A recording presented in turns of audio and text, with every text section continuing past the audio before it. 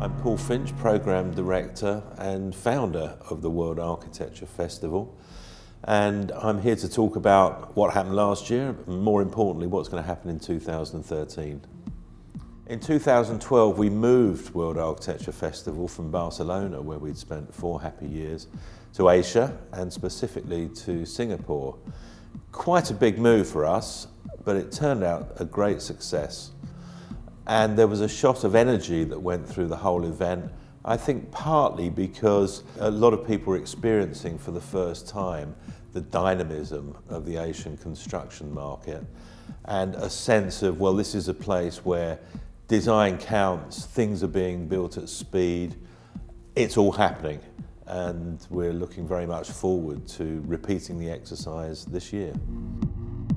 There was only one venue we felt we could use uh, in moving to Singapore, which is the extraordinary Moshe Safdie Marina Bay Sands complex.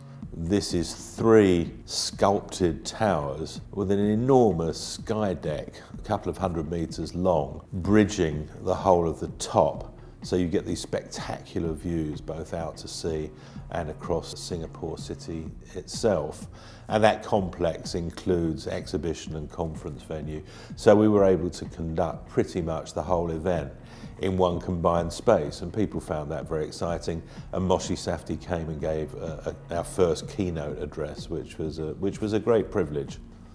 We had a very good set of category winners um, that competed for the big prize, the uh, completed building of the year, the world building of the year, and uh, the world future project of the year. As far as completed buildings were concerned, it came down to two really. One was a very beautifully conceived civic project in Spain by Menis Arquitectos.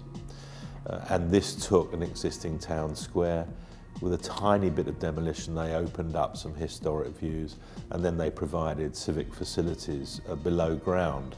And the other one was completely different and uh, ironically was in Singapore itself, immediately next to Marina Bay Sands. And in the end, this won the big prize. This is the Gardens by the Bay by uh, a British design team Wilkinson Eyre Architects, but also environmental engineer, structural engineer and landscape architect, very much part of the team.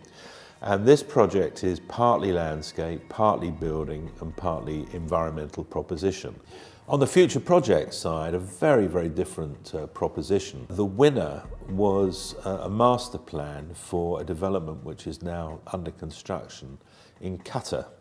Uh, this is the Heart of Doha project. And this is an, attempt, instead of doing what usually happens in the Gulf, which is to just have enormous high-rise office towers which have very little relationship to each other and nothing happening on the ground between the blocks. This was an attempt to have, on the one hand, a more European style of urbanism, i.e. great concentration on streets and squares and routes and perimeters and shading.